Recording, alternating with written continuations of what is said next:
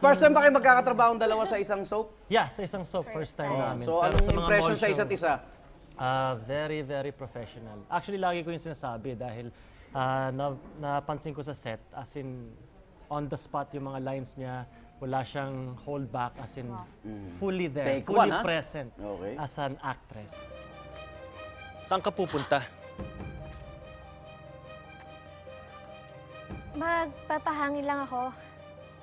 Napakainit ba sa loob at kailangan mo pang lumabas? Gusto ko kasi ng sariwang hangin eh, para makapag-isip-isip. Tanga bang tingin mo sa akin, ha? Ano? Sa tingin mo maniniwala ako sa mga palusot mo, Rosette? Umamin ka! Sino yung pupuntahan mo? Wala nga! Gusto ko nga naman pag-isa para makapag-isip-isip ako! O baka naman makikipagkita ka sa lalaki mo? Ha? Aray nga, ano ba nasasaktan ako, Homer? Leave Nung sinabing si Rafael ang leading man mo, nagulat ka ba o wow, Rafael? O Sinerch ko muna kung... sino siya? Kung single siya? o impostor? Na joke lang. Hindi, syempre, ano, na-touch ako kasi ang dami ko nang naging leading men eh. Kumbaga, sina Mark, sina Rocco Nasino, sina Dennis, tapos biglang, uy, level up ulit. Rafael naman ngayon. Kamusta kayong set sa dalawa? Kayong kami kayong dalawa? Okay Kamusta? naman. Naman. Oo. Chemistry, may chemistry. Ramdaman niyo yun? Ah, ako, may nararamdaman ako. Ewan ko sa kanya. Huwag kang ganyan. Sino? ah, okay. Ang daming pastor. Nagpapagap na single.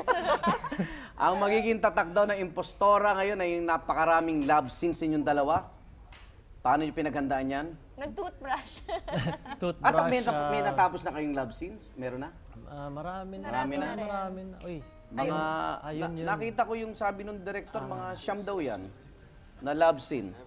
Na take or shots or... Ah, ganon? Sino ba inalikan mo dyan? Yung impostora o yung na- na-operahan o yung... Ako, hindi ko alam eh. Ah, hindi mo na alam? Oo, ah, bilang character, hindi ko talaga alam. Bagay okay lang, si Chris din yan. Lahat naman ako lang din. Good kisser ba si, ano? Rafael? Gen- may gentleman kiss kasi, di ba? Good kisser si Rafael. Wow.